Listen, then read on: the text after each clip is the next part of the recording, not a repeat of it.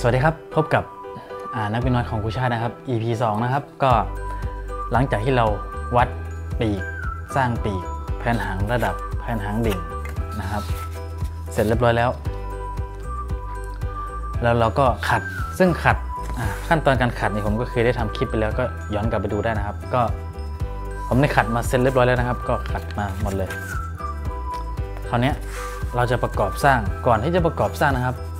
ปีกเนี่ยมันจะต้องแข็งแรงนะครับงั้นเสริมความแข็งแรงนิดนึงก็คือผมใช้กาว OPP นะครับกาว OPP คือนี่ครับกาว OPP ก็เทป OPP นะครับ ก็ผมก็จะติดเลยนะครับ ที่การติดก็เหมือนเดิมนะครับ ก็ผมก็จะใช้แบบเดิม ผมจะเอาไม้บรรทัดวาง เพื่อให้เท่ากันนะครับื่อความสวยงาม ตรงที่เราวัดมา 3 เซนนี่แหละครับ ผมก็จะใช้ตรงนี้เลยอันนี้การติดเนี่ยขึ้นอยู่กับเทคนิคของแต่ละท่านนะครับ ซึ่งก็เห็นได้หลายท่าน การติดก็มีเทคนิคที่แตกต่างกันออกไป แต่แต่ติดยังไงก็ได้นะครับ เพื่อให้มันแข็งแรง หรือบางท่านอาจจะไม่ติดเลยก็ได้นะครับ ก็ลองเลือก ใจกันนะครับ แต่การติดเนี่ยช่วยป้องกันนะครับ เวลาที่มันชนนะครับ มันจะไม่เกิดความเสียหายต่อโฟมนะครับ ก็มีข้อดีนะครับอะติดแบบนี้นะครับ นี่คือ เป็นแบบที่ผมใช้นะครับใช้เป็นประจำนะครับ ก็อาจจะติดยุ่งยากกว่าแบบทั่วๆไปนะครับ แต่ว่าผมว่ามันก็ช่วยได้ดีนะครับ กันใช้หน้าปีกเพราะว่าใช้หน้าปีกเนี่ยเราขัดมันออกนะครับ มันเวลาชนเนี่ยมันอาจจะเสียหายได้นะคราวนี้ตรงนี้นะครับก็ตัดเลยนะครับ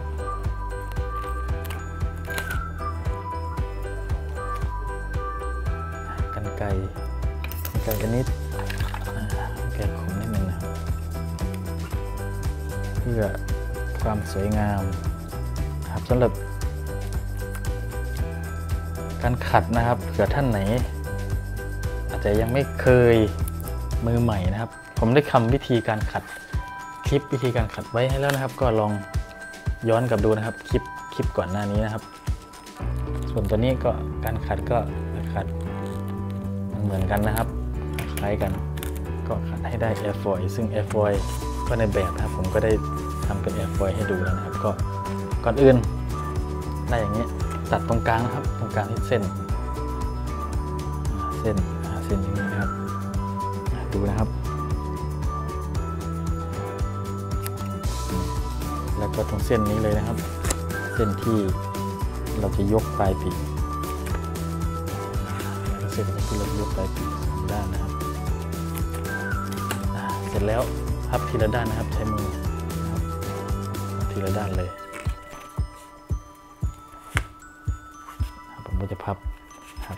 ค่อยๆไล่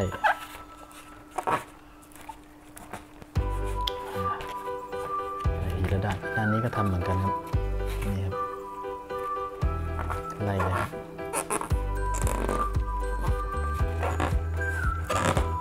ไล่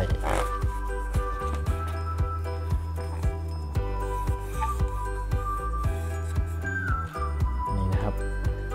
บางท่านอาจจะต้องการแค่นี้ก็ติดเท่านี้นะครับแต่ผมติดหมดเลยนะครับ ก็จะเพิ่มเติมผมก็ตัดเป็นเล็กๆลงไปนะครับ ก็แล้วแต่ความาถนัดนะครับ หรือความเหมาะสมที่ท่านใช้งานนะครับ อันนี้ไม่ได้ครับนะครับทำยังไงเพื่อให้มันแข็งแรงนะครับ ตรงนี้ผมจะติดเลยนะครับนี่นะครับก็เป็นสไตล์สไตล์ของนักบินน้อยของผู้ชันนะครับจะติด ก็ติดครบหมดเลยนะครับ ติดทั้งปีกนะครับ ก็นำปรับใช้ได้นะครับ ถ้านี่ครับตล์นักบินน้อยของผู้ชันนะติดสุดเลยนะครับ ก็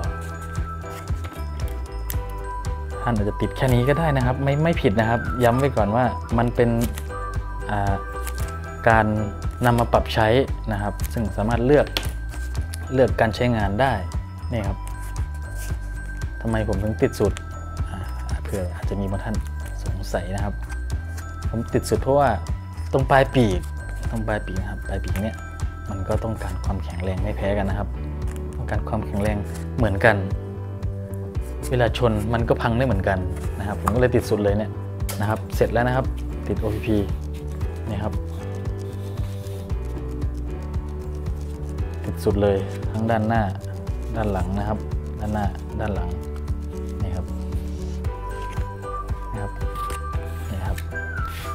ก็เนี่ยติด OP เสร็จแล้วนะครับ ไม่ไม่ยากนะครับ ก็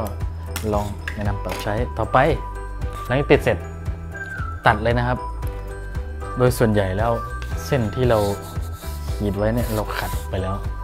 จริง ๆ นะครับ เทคนิคง่ายๆผมเวลาผมฝึกนักเรียนนะครับ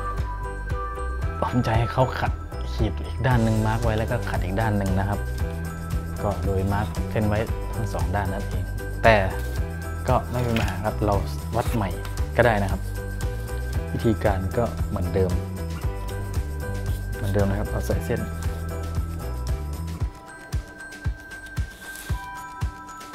ก็จะเอาใส่เส้นไว้นะครับ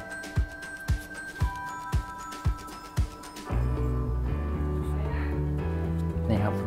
ก็ก่อนอื่นเอาตรง 30 ก่อนนะครับ ก็คือตรงกลางตรงนี้นะก็วัดเข้ามา 12 เซนนะครับ ด้านนี้ก็เหมือนกันนะครับวัดเข้ามา 12 เซนแค่นั้นนะครับเสร็จเป็นอันเสร็จสิ้น แล้วเราก็ตัดได้เลยนะครับตรงนี้ตัดได้เลยนะครับการตัดก็คลิปก่อนๆหน้านี้ก็ได้ทำมาแล้วนะครับ ก็บางท่านอาจจะตัดขาดเลย บางท่านอาจจะไม่ต้องการให้มันขาดได้ทั้งสองแบบนะครับ ผมจะยกตัวอย่าง ผมตัดขาดไปเลยนะครับ ไม่ยากนะครับ เนี่ยผมตัดขาดไปเลย ตัดขาดไปเลย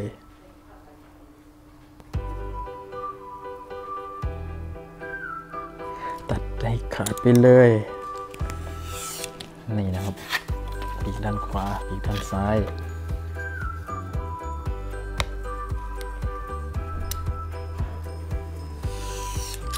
ผมก็จะตัดขาดไปเลย แบบนี้นะครับ คราวนี้เราจะยกปลายปีกกัน วิธีการใส่ผิดด้านนะครับอันนี้แยกไว้บางท่านถ้าจำไม่ได้ก็เขียนไว้ก็ได้นะครับ เขียนไว้ซ้ายขวา ก็วิธีการง่ายๆนะครับ ก็ ใช้กระดาษทรายนะครับ เอียงเอียงมุมประมาณ 70-80 องศานะครับ ก็ดูที่ว่าเรายกปีกอ่ประมาณไหนนะครับนะครับเอียงนะครับ ตรงนี้ต้องเอียงนะครับ ใช่ขัดตรงๆนะครับขัดเอียงเพื่อเวลาเรายกปลายปีกนะครับนี่ครับ เวลาเรายกปลายปีกขึ้นมาดูนะครับ จะยกขึ้นมาแบบนี้ถ้าเราไม่ขัดเนี่ยมันพื้นที่สัมผัสกันเนี่ยมันติดกาวมันจะไม่แน่นนะครับเนี่ยตรงนี้นะครับต้องต้องวัดดูว่าเราจะยกกี่เซนนะครับ สมมติอันนี้ตามแบบนะครับมียกที่ 4 เซนเราก็ยกดูว่าถ้า 4 เซนเนี่ยมันทัดสันอ่าถ้า 4 เซนเนี่ยมันยกขึ้นแล้ว พื้นที่มันติดแนบสนิทกันหรือเปล่านะครับ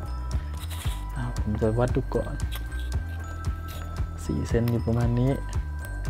แนบสนิทกันหรือเปล่าอะยังขาดอีกนิดนึงนะครับ เราต้องขัดเพิ่ม มันยังไม่แนบสนิทนะครับเวลาติดเกามันอาจจะไม่แน่นนะครับ จริงๆก็บางท่านก็บอกว่าอาอาจจะติดเดสับปะรดเพิ่ม แต่ถ้ามันไม่แน่นตั้งแต่แรกนะครับ ต่อให้ติดสับปะรดมันก็จะมีอาการ ไม่ค่อยแน่นนะคือมันจะโยกนั่นเองนะครับอันเนี้ย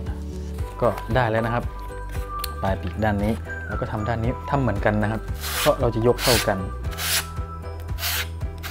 ครับสไตล์เหมือนกัน เพราะยกเท่ากันนะครับอตอนนี้ต้องใจเย็นนิดนึงนะครับนี่ครับส่วนต้องอลองยกดูลองยกดูนะครับ 4เซนว่าพอดีไหมนะครับสี่เซนตัวนี้ได้แล้วเหลือตรงกลางก็เหมือนกันครับ ตรงกลางนี่มันจะยก ด้านละ2เซนนะครับ ถ้ารวมกัน ถ้ารวมกันยกขึ้นแบบนี้ มันก็จะกลายเป็น4เซนเหมือนกันนะครับ เพราะถ้าเฉลี่ยก็จะเหลือด้านละ2อ่าก็ทำเหมือนกัน แต่ตั้งด้านปลายปีกเนี่ยถ้ารวมกันแล้วมันจะกลายเป็น8นะครับ อันนี้ไม่ต้องงงนะครับ ก็ยกด้านละ4นั่นเองนะครับ กลัวบางท่านจะไม่เข้าใจนะครับ ก็บางท่านอาจะถามว่ายกมาก ยกน้อยมีผลยังไงนะครับ ยกมากนะครับ การตั้งลำก็ก็อาจจะดีขึ้นง่ายขึ้นนะครับ เครื่องมันก็จะได้ได้ดีขึ้น แต่ว่าก็มีปัญหานะครับก็คือ เรื่องของการอัตราการร่อนนะครับ อาจจะลดน้อยลงนะครับ ความสมดุล แต่ก็ ไม่ควรจะยกมากเกินไปนะครับ ไม่ควรจะไม่น้อยเกินไปนะครับ ควรจะมีการยกปีกขึ้นเพื่อแรงเวลาเครื่องร่อนนะครับ มันเอียงมันจะได้ตีขึ้นขึ้นมาได้นะครับ ไม่ไม่เอียงลงน้อยปากของลงนะครับ ตอนนี้เสร็จแล้ว เราก็จะทากาวเลยนะครับกาวกาวกาวที่ใช้ก็เอาที่ท่านสะดวกนะมีอันไหนก็ ใช้นะครับ ผมใช้อันนี้นะครับกาวสีแดงนะครับ มันก็บางท่านอาจจะไม่ชอบนะครับ แต่พอดี มันมีเท่านี้นะครับติดทาทิ้งไว้นะครับ สักสองสามนาทีนะครับ ผมใช้มือเลยนะครับ เพราะว่ามันได้สัมผัสได้ทั่วกับพื้นผิวของโฟมนะครับ เราจะได้รู้ว่าเรา กาวเนี่ยทั่วโฟมหรือเปล่านะครับ ถ้าไม่ทั่วเนี่ยความแข็งแรงนะครับ ย้ำนะครับ outdoor เนี่ยไม่ว่าจะ outdoor indoor นะครับเครื่องร่อนต้องแข็งแรงนะครับ ถ้าไม่แข็งแรงเนี่ยอาจจะทำให้เครื่องร่อนนะครับ หลุดนะครับ แล้วก็เราส่งด้วยมือขึ้นเนี่ยอาจจะมีชิ้นส่วนหลุดกลางอากาศ หรือหลุดในมือนะครับ แล้วก็มันมีผลต่อ การร่อนด้วยนะครับก็ลองปรับใช้ดูนะครับ อันนี้ระหว่างทากาวนะครับ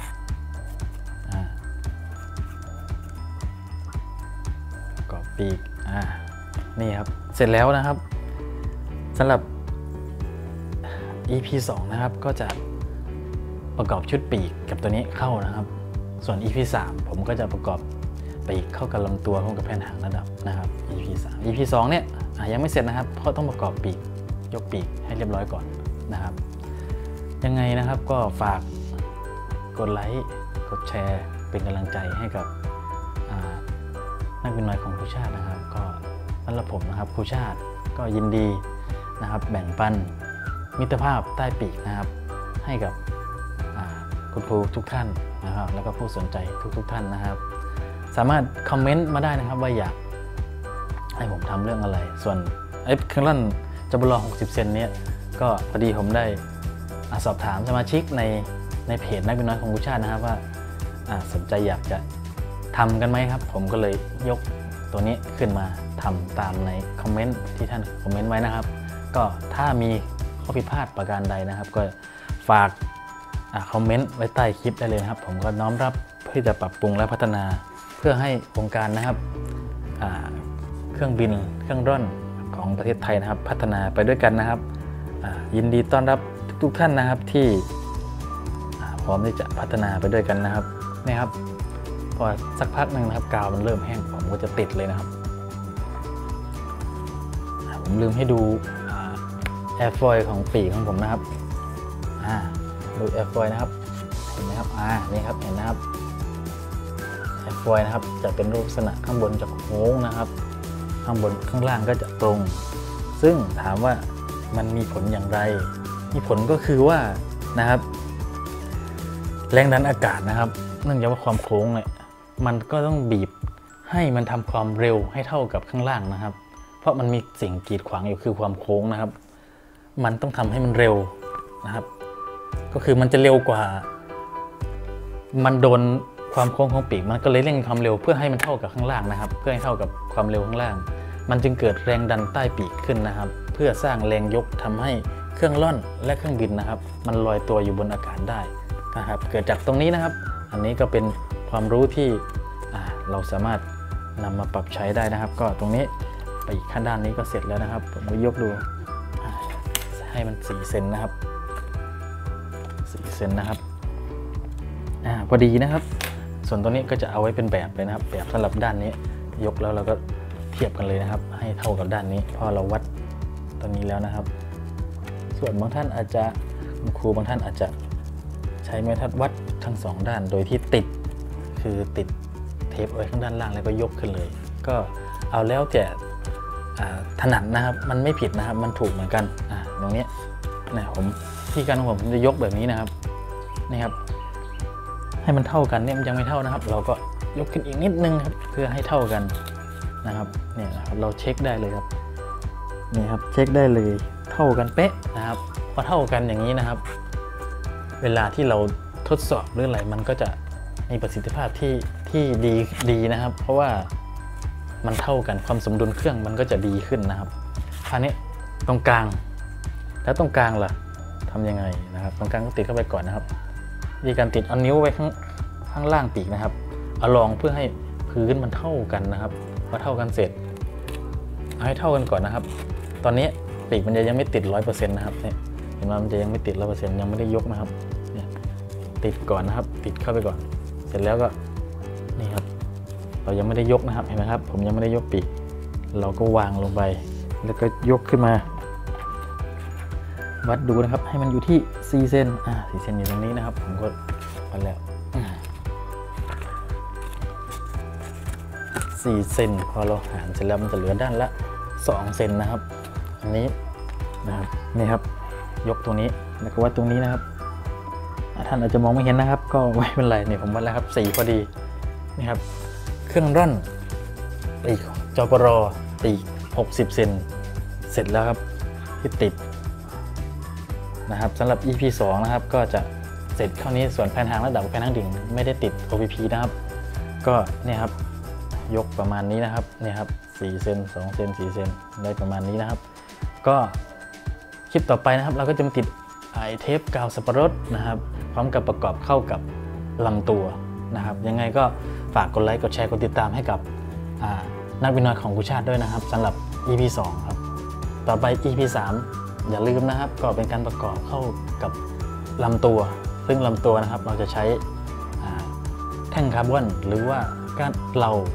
ก้านไม่กวาดต้นแขนอะไรนะครับ ก็มาคุยกันครับว่าใช้อันไหนที่เหมาะกันใน EP 3 นะครับสำหรับ EP 2 ก็ขอบคุณครับ